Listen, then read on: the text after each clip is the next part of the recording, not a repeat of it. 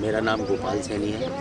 मैं 1980 में mask Olympic में भारत का प्रतिनिधित्व किया था और 1981 में मैंने एशार्ड में गोल्ड मेडल जीता था। और स्टीपल चेज में जो मेरा रिकॉर्ड है, करीब 40 साल का अभी करीब एक साल पहले वो रिकॉर्ड सर, आपका ओलंपिक का एक्सपीरियंस कैसा रहा? देखिए, ओलंपिक जो होता है, किसी भी खिलाड़ी के लिए बहुत बड़ा कुंभ, जैसे कुंभ स्नान होता है, वैसे एक खिलाड़ी के लिए ओलंपिक कुंभ स्नान। तो हम लोगों के लिए भी ये था और हमें मुझे 1980 में मैं भाग्यशाली था कि आठ ही बच्चे गए थे, उसमें से मैं भी एक नहीं और मैंने अपने कंट्री का वहाँ रिप्रेजेंटेशन किया, मास्को ओलंपिक में। एक खिलाड़ी के लिए ओलंपिक में जाना एक बहुत बड़ी उपलब्धि है।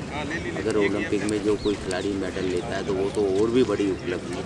तो इसलिए मैं भी ओलंपिक में हमारे देश का प्रतिनिधित्व किया तो मेरे लिए एक बहुत ही सौभाग्य की और बहुत ही खुशी की बात थी उस टाइम सर आप इस स्पोर्ट्स लाइन में कैसे आए? मतलब कोई मैं क्या है स्कूल में जब पढ़ता था जब से मुझे बड़ी मतलब खेलों में बड़ी रुचि थी। मैं खेलों को देखता था। हमारे यहाँ राष्ट्रीय स्तर की प्रतियोगिता ही सन उन्नीस सौ बहत्तर में कबड्डी टूर्नामेंट हुआ। तो मैं वो कबड्डी देखने गया। राष्ट्रीय स्तर की प्रतियोगिता थी। उसमें लड़के लड़कियों को जब मेडल मिला तो मैंने देख, मुझे भी ये जोश हुआ। पहले हमारे जयपुर में कुश्ती के दंगल भी बहुत होते थे तो मैं क्या कुश्ती भी देखने जाता। तो एक बच्चा था मैं तो मेरे मन में भी ये जिज्ञासा हुई कि मैं भी ऐसा काम करूँ जिससे मुझे भी मेडल मिले, मेरा नाम रोशन तो इस तरह ऐसे देख के मेरे मन में ये रुचि पैदा हुई। और मैं खेल के माध्यम से आगे बढ़ने की कोशिश करने लगा। Done sir. आपकी सर इंस्पिरेशन कौन रहा? ऐसा वैसे तो देखो मैं देख के ही सब कुछ होता है लेकिन मेरे जो पिताजी थे वो भी क्या है हालाँकि वो हेडमास्टर थे लेकिन वो भी क्या हॉकी के बड़े अच्छे खिलाड़ी थे। और उनकी शुरू से ही ये रुचि थी कि बच्चे खेलों के पढ़ाई के साथ साथ खेलों में भी भी रुचि लें। जिस स्कूल में पौधार स्कूल में वो हेडमास्टर थे उन्होंने सारे खेल के मैदान बना रखे थे। तो शाम को सारे बच्चों को खिलाते थे, किसी कबड्डी ग्राउंड पे कबड्डी, हॉकी पे हॉकी एथलेटिक्स टैग भी उन्होंने बना रखा था तो वो सारा देखते थे। तो उनको उन्हीं के माध्यम से मुझे प्रेरणा मिली और उन्होंने मुझे सहयोग किया और मैं फिर आगे बढ़ा गया। वेल डन सर सर आने वाले समय में आप राजस्थान एथलेटिक्स को कैसे देखते हैं? देखिए राजस्थान में जो एथलेटिक्स को मैं बड़ा अच्छा देखता हूँ मैं आजकल प्रेसिडेंट भी हूँ। मेरे आने के बाद में जो भी लेटेस्ट टेक्नोलॉजी है वो हमने एथलेटिक मीट में उपयोग की है। जैसे आज हम कैमरा लगा रहे हैं हमने जब से करीब छः साल से हमारा जो भी टूर्नामेंट होता है हम कैमरा लगा के साइंटिफिक तरीके से प्रतियोगिता कराते हैं। जिससे किसी भी खिलाड़ी को ये नहीं रहे कि भी मैं आगे था मैं पीछे था या कोई खिलाड़ी किसी अन्य खिलाड़ी के नाम से इसमें खेल नहीं सके क्योंकि फ़ोटो फिनिश में सारा रिकॉर्ड हमारे पास आ जाए। तो हम चाहते हैं कि जो भी टूर्नामेंट हो, हमारा फेयर हो, और मैंने हमारे यहाँ राजस्थान में लॉन्ग मिडल डिस्टेंस में बड़ा पोटेंशियल है थ्रोज में बड़ा पोटेंशियल है।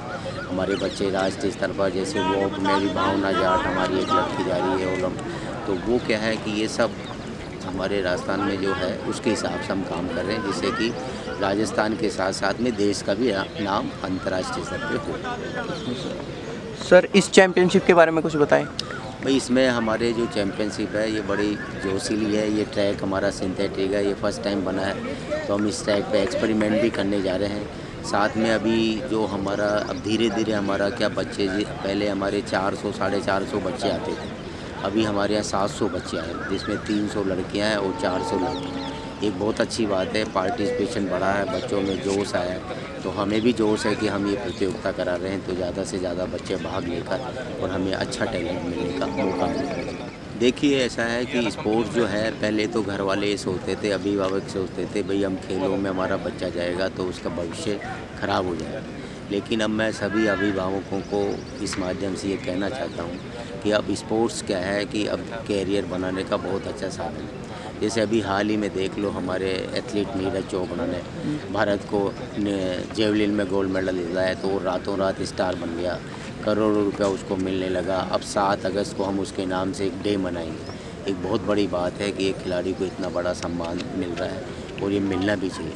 तो मैं यही कहना चाहता हूँ कि अब माता पिता को बच्चे में अगर स्पोर्ट्स में टैलेंट है तो उसको पढ़ाई के साथ साथ उसको प्रोत्साहित करना चाहिए उसकी मदद करनी चाहिए जिससे कि वो खेलों में आगे बढ़े। आप हमारे चैनल के बारे में क्या कहना चाहेंगे? भाई आपका चैनल तो बड़ा नामी चैनल है राष्ट्रीय स्तर पे आप ये प्रतियोगिताएँ कराते रहते हो इसीलिए आपको हमने भी यहाँ इसलिए बुलाया है। और सबसे बड़ी बात तो ये है कि आप मेहनती हैं निष्पक्ष हैं जो भी टूर्नामेंट होगा, नियम कानून, उसे आप कराएँगे। इसीलिए हम इस चैनल के बारे में मैं संतुष्ट हूँ और हम, मैं, हम लोगों ने भी आपको इसीलिए इस प्रतियोगिता